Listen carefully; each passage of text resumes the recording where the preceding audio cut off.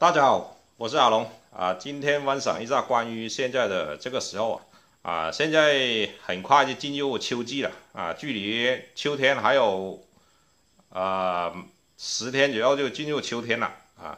现在开启呢，呃，雨水比较稀少啊，包括整个南方都雨水比较稀少啊。现在开启呢，那个蛙碗就越来越多了啊。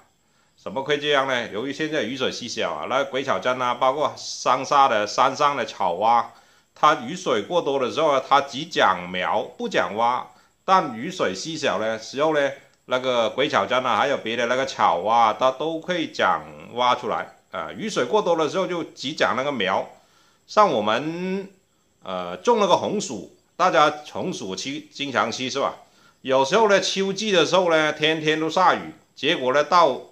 红红薯收割的时候没有什么红薯，啊，红薯也是一样。如果雨雨雨水过多的话，它也是只长苗不长红薯，都是这个样子的。啊，现在进入秋季呢，雨水稀少的时候呢，开始就是那个呃野蛙都是开始长蛙出来了，是吧？野草、野蛙都有一点蛙纹了。那我们转过来看一下，咱们看到这几天是吧？这这边上来这一批是吧？一匹都是蛙纹。是吧？一匹都是蛙纹。呃，这几天开始进入秋天来了，是吧？那个蛙纹一天比一天多，是吧？你看到红色的那是鬼草针的蛙纹，是吧？前段时间什么鬼纹都没有。来，今天我检查了很多窝蜜蜂了，发现每很多窝蜜蜂都有蛙纹彩。包括百分之八十的蜂群都有很多蛙纹，有百分之二十的蜂群就不行，不踩稳啊？怎么不踩稳呢？这种等于说外界很多蛙纹它也不踩啊。这种有百分之二十的蜂群，这种蜂群只能是人工喂稳，那没办法了。外面外界有蛙纹它不踩是吧？那蜜蜂啊必须要完集啊，不完集不行啊是吧？啊，现在这个时候呢，进入秋天了是吧？进入秋天来啊啊，什么时候呢？蛙纹最多呢？就是说，呃，白天跟晚上的温差比较大呢，晚上温蛙纹比较多，因为白天的温度比较高啊，到晚上的时候温度比较大低呢，它一冷一热的话，呃，会产生，呃，等于说到白天很热，可能空气中很多水分是吧？一到了那晚上气温比较低啊，是吧？它就。空气中的水分呢，就液化成少水珠了。到时候我们到秋天的时候呢，早上起来很多雾水，是吧？呃，雾水，因为雾水呢，它有很很有有水分嘛，是吧？那花碗里面呢，一蜜一般蜜蜂呢都是啊八点钟到十点钟这段时间采花碗，因为啊早上的时候啊，那个花朵比较湿润了，有那个水分了，它才容易容易搅拌那个花粉回来。如果干燥呢？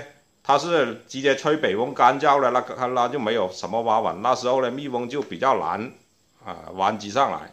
只要是现在秋季呢，进入很多地区啊，像有些地区，它有零零星星的五倍几开，是吧？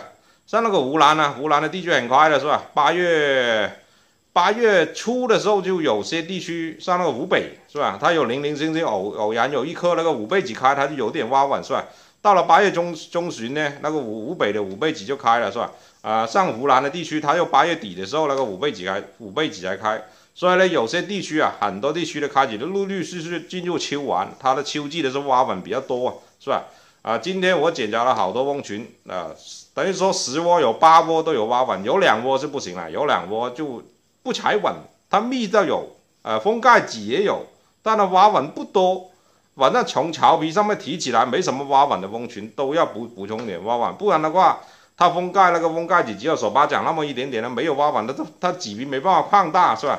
它麂麂皮一扩大起来呢，有很多新蜂出来呢，它的采集度就比较高了，到时候呢，它的挖碗也比较多。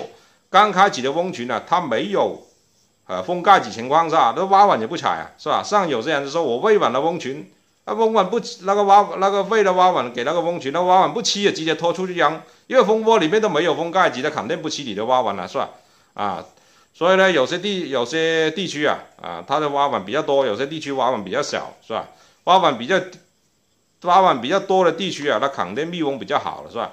因为为什么有些地区啊，它一年四季都能保持长群啊。第一个是跟那个蜜，最主要是跟那个蜜源有关。如果没有蜜源的话，谈什么都没用，是吧？蜜源越好的话，过了一年四季都有挖稳的话，那你的蜂群肯定是爆香了，是吧？啊，像有些地区啊，是吧？它一年四季的能保持十匹蜂、十二匹蜂，一年四季都可以，是吧？但一因为一，呃，一年四季啊，它都有源源不断的那个粉源、粉蜜源补充给蜂群，它就啊，蜂群肯定发展的好。道理很简单，就是说，当你钱多的时候啊，那你你可能生孩子你也多生几个，是吧？当你钱少的时候，你就生一个，你不想生了，是吧？因为你没有钱来养育啊。那蜜蜂也是很简单，是吧？到外面资源好了，它就拼命产卵产子，是吧？嗯，啊，后来外面资源都不好，那个蜜蜂肯定不好发展了，是吧？这个道理很简单，是吧？不要说为什么有些地区啊能蜂王能带十匹蜂，有些地区带不了，是吧？这个看外界的资源有关，跟这个管理技术可能是没多大关系的。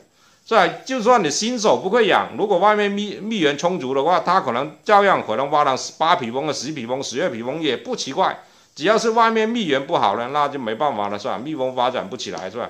啊，好了，今天的视频已经到这里为止了。喜欢我的视频，可点关注、点赞、转发。